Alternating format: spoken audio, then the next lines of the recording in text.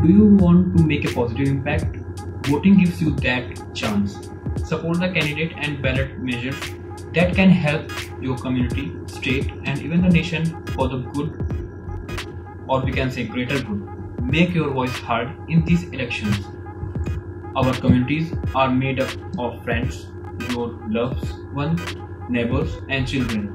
Some may not know how important voting is, while others don't have the privilege. Make a decision to vote for yourself and those around you.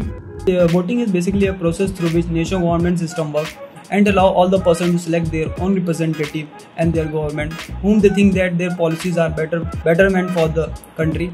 And this time i vote goes for bjp and i think that uh, their uh, policies and implementation for the development are good and good for the society. Voting is important because we are the ones we are the public who choose who should rule or who should who should take as a mantle for the leader of this country or of the society. So each of each of us is playing a very crucial role while voting. So everyone should vote.